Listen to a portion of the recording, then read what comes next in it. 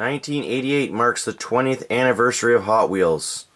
And in my year by year Hot Wheels collection videos, here we have my entire collection, almost every car released in 1988 by Mattel for the Hot Wheels lineup, with the exception of only a few extremely rare variations, which I will make note of as we go through this video. I also have some really interesting playset cars and variations of those that are quite hard to find as well as the matching playset complete mint in the box never played with which we will look at as well. Some rare variations still in the packaging to make note of as well as some extremely rare variations out of the packaging such as this Larry Wood's personal collection vehicle that I was able to acquire on eBay some time ago and some other really interesting variations such as this Nissan 300ZX with ultra hot wheels, and many others to discuss that are noteworthy. In 1988, Hot Wheels Real Riders were completely discontinued from the lineup. However, some new and interesting 20th anniversary cars were released in Hot Wheels 3 packs of the time. Those were these gold and silver polish finished cars and trucks, exclusive to a three car set that featured two regular mainline vehicles often released in years prior to 1988. However, you were sure to get one of these awesome vehicles with a stamping cast right into the base or body of the vehicle, showing the 20th anniversary logo for Hot Wheels. Some of these have rare variations we will make note of. Other vehicles released in 1988 were, of course, the Action Command vehicles, Workhorses, Speed Demons, Speed Fleet, and Classics.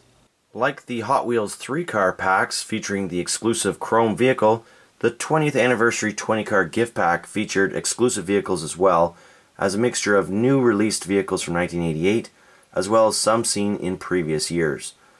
The noteworthy exclusive vehicle, if you could find it in the pack, was this Turbo Streak, with the 20th anniversary logo on the side.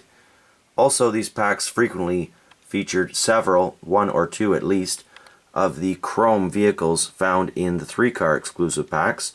Here we have a 540K and a chrome Monster Vette. As for the Turbo Streak with the Tampo, there is a variation known to exist that I have both of here. One featuring the large 20th anniversary versus the smaller 20th anniversary. So far as font size goes, you can see the comparison in a side by side of the vehicles here. The other Turbo Streak released in 1988 was a second annual Hot Wheels convention piece for Long Beach, California, and is a very limited quantity. This one came straight from Larry Wood's collection.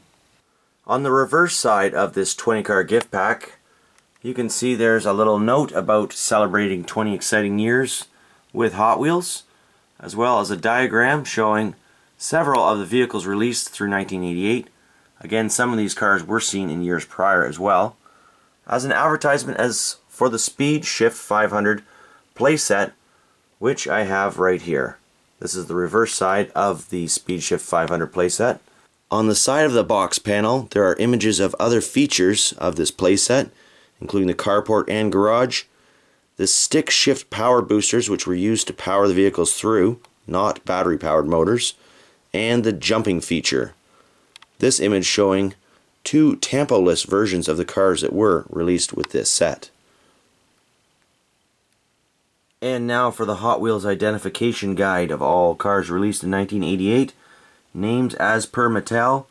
Let's start with the 3 Window 34, 57 T-Bird, 65 Mustang, 80s Firebird, three variations there, Alien, Blown Camaro, Cobra 427, Porsche 911, three variations, Porsche 959, Shadow Jet, Sheriff Patrol, Solaire CX4, Split Window 63, Street Beast, also known as Race Bait 308, Talbot Leo, Thunderstreak, Tricar X8, Nissan 300ZX,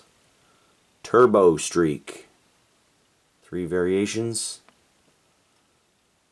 and the Blazer 4x4. Porsche 959, Ferrari Testarossa, Combat Medic, also known as the delivery van, Ferrari Testarossa, Firebird Funny Car, Mercedes 540K, Monster Vette, and finishing up the Chrome series of 20th anniversary, Tall Rider, Radar Ranger, three variations, Assault Crawler, Sting Rod, multiple variations here.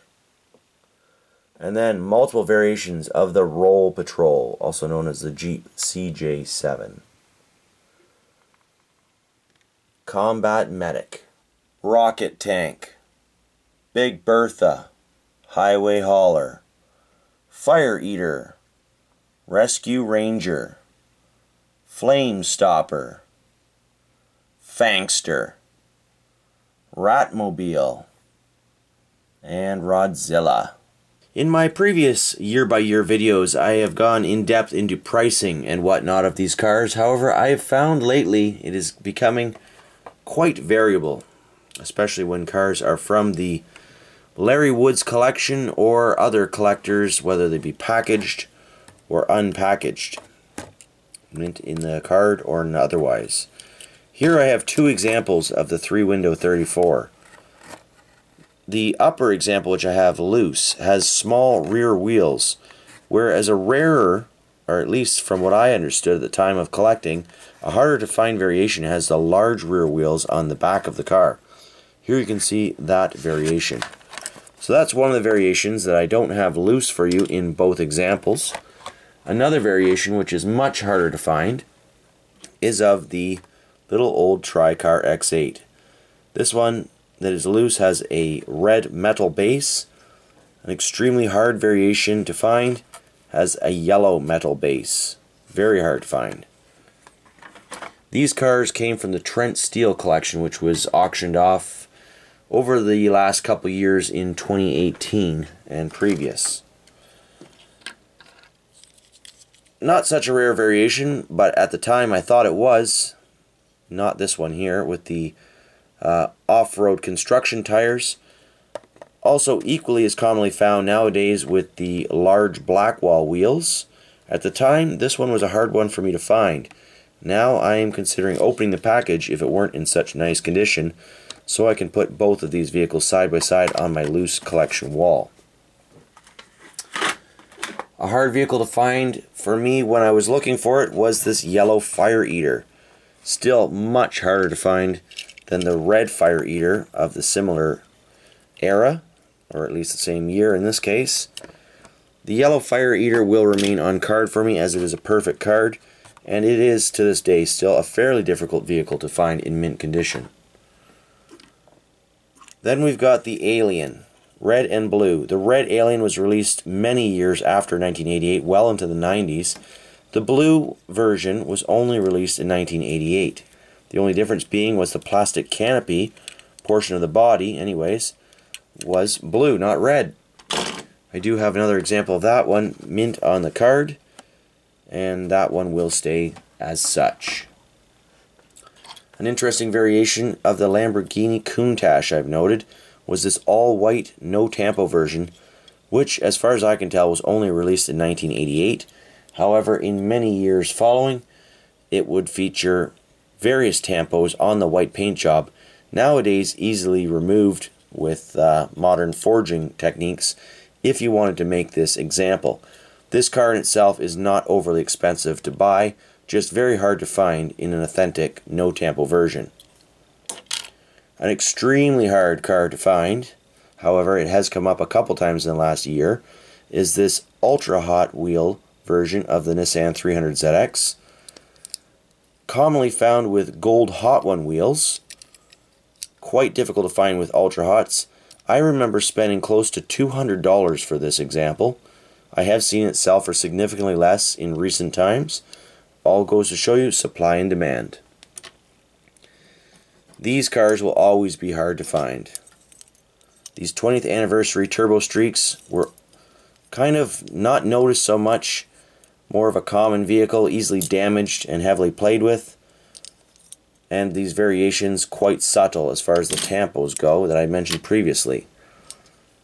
This one took me eight years to find before buying it up from the Larry Wood collection when its first inceptions of being auctioned off in 2018. Another interesting car that was quite hard for me to find at the time was this 65 Mustang in black. The only year released with this paint job was 1988. And at the time, this was a $20 car. It may still well cost you that if you can find one. Interesting variations for the blown Camaro. One has a lighter pink tampo, the other a darker kind of mauve tampo.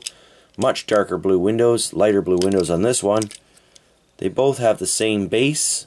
No, they don't. One says 74 blown Camaro. The other has that stamped over. It is quite possible that this version with the stamp over is from the early 1990s as this car did carry through. However, considering this vehicle first came out in 1988 with the gold Hot One wheels, I decided to put these two cars together, not knowing for certain when this other vehicle was released. It's still interesting to have them side by side. The white wall and black wall versions of the Mercedes 540K in black enamel. Black wall is harder to find. These are not overly expensive cars, but still interesting to note. Solaire CX4. Two variations to note here. One has the the wing that is raised with a transparent or open cavity underneath. The other one is molded right to the casting. They both have the opening engine shroud. This one with the open area of the cowling or spoiler is harder to find in my experience and henceforth I have not been able to find a mint one as yet not even on package whereas this one I've been able to find over and over again without much trouble. The Talbot Leo, commonly found in white, less commonly found in burgundy. That's all I have to say for that. Ferrari Testarossa from the place that you see in the background, Speedshift 500. Two variations that exist, very minor. Let's see if we can zoom in without blur. On the front right of the cowling or bumper, you can see this one has long long guines. I can't read it. Anyways, I can't remember what I was reading here. So that one has that. This one does not. That's a known variation. Other than that, no difference. Not much difference in price. Nobody knows about that stuff anyways. What else we got? Black Porsche 911 with gold Blackwall wheels. Pretty tough car to find. And then we've got this interesting variation of the Porsche 911. Same car. One with the gold Blackwall wheels, same tampos on the side. The other with chrome. The gold Blackwall wheels version does not have the 9.5. Can't remember which one was harder to find, but that's a notable variation there. Not one that can be reproduced. So quite a worthwhile one. The Shadow Jet. Commonly found with the purple mauve F3 and intercooled on the rear fin. Otherwise the same as this one, except F3 is printed in blue. Much harder to find. Much harder. When it comes to the delivery van or combat medics, this one with the stamped um, ribs in the side of the vehicle, this one is smooth. Much harder to find with the uh, ribbed sides on this vehicle in the old historical price guides I had from years ago worth twice as much as this one. Both these vehicles fairly hard to find in mint condition such as these, but this one should be harder to find. Supposedly, I have never seen one in real life, but there is a version of this with the CT wheels, the uh, off-road CT wheels, larger style not these regular CT wheels. I don't even have an example here for you, but yes I do. Over here on the Radar Ranger.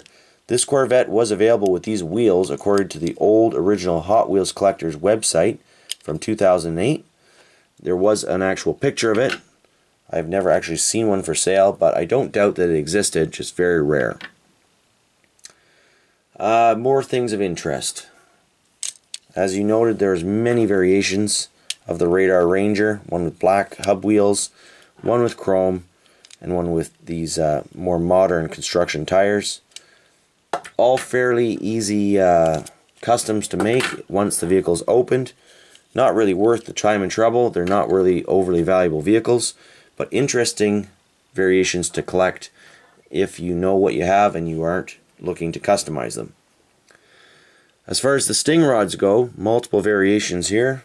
Same thing, different wheels, that's about it. Same prices for both of these in both formats. Really cool vehicle based on a Nissan 300ZX. All modified, armored up, and covered in bristling weapons. Heavy duty car. Always one of my favorite cars growing up as a kid. And definitely the first car I picked out of the play set or play case when I started playing with my Hot Wheels.